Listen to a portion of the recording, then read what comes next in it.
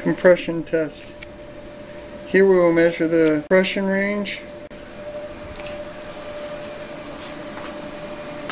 Here I've set up a towel to protect the bucky or grid and this is the compression device which we will lower. I'm using a calibrated pressure meter which I'll have set up here and I'm going to set to zero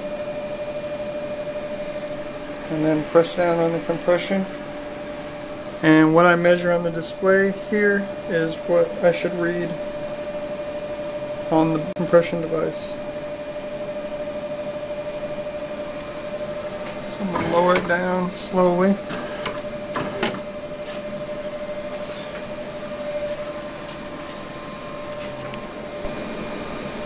Display reads 20.7 with 19.8. We're going to advance it to 40.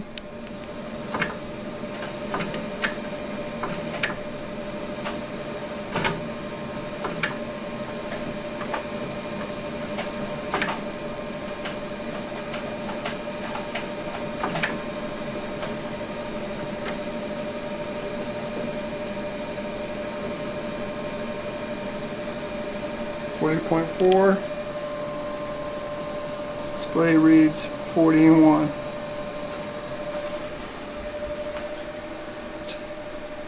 We could also use a normal weighing scale, a scale that you would use in your bathroom, measure the actual compression force.